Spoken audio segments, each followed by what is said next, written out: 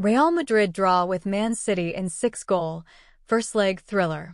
Real Madrid and Manchester City slugged out a thrilling 3-3 draw in a rip-roaring Champions League quarter-final clash in the Spanish capital Tuesday, leaving the tie between the last two holders of the trophy wide open for the second leg next week.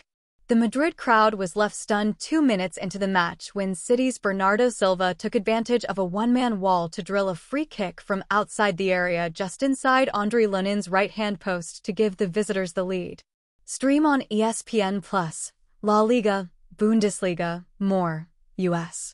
To make things worse, Madrid midfielder Aurelien Tchouameni, playing as an emergency centre back, was shown a yellow card for the foul on Jack Grealish that led to the goal and will miss the return leg in Manchester next Wednesday. But Eduardo Camavinga helped level the scores after 12 minutes when his long-range strike deflected off defender Ruben Dias for an own goal after wrong-footing keeper Stefan Ortega.